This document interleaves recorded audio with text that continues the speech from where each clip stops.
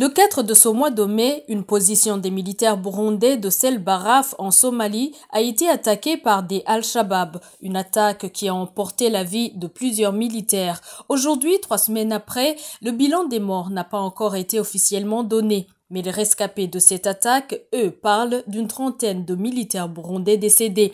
À part un bref communiqué sorti par le porte-parole de l'armée burundaise, le colonel Floribert Wiyereke, quelques jours après l'attaque, aucune autre communication ni geste n'a été fait en l'honneur de ces militaires burundais morts sur le champ de bataille en Somalie.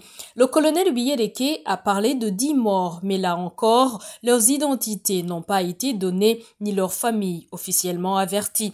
Cette récente perte n'est pas une première depuis le début de cette mission de maintien de la paix en Somalie. Toutes les fois, le pays n'a pas rendu l'honneur que les victimes méritaient. Pourtant, les troupes burundaises se distinguent dans ces missions, ce qui fait honneur à leur pays, le Burundi. Cette attitude du gouvernement burundais qui semble minimiser les œuvres des Burundais se remarque dans plusieurs secteurs. Ici, l'on rappellera le cas de la figure du tambour du Burundi Antime Balanchakadje.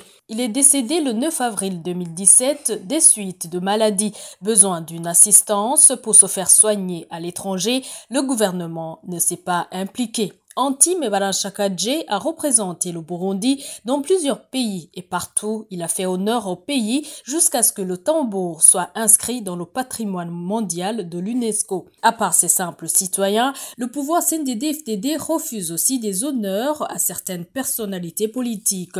Le président Pierre Bouyoya, qui a dirigé le Burundi pendant plus de dix ans, a été enterré au Mali où il résidait. Il était représentant de l'Union africaine au Mali et pour le Sahel. Décédé le 17 décembre 2020, le pouvoir d'Aïchemiye a refusé qu'il soit enterré dans son pays avec honneur d'un ancien chef d'État. Aucun jour de deuil n'a été décrété comme pour les autres anciens chefs d'État ou autres personnalités, même étrangères, décédées.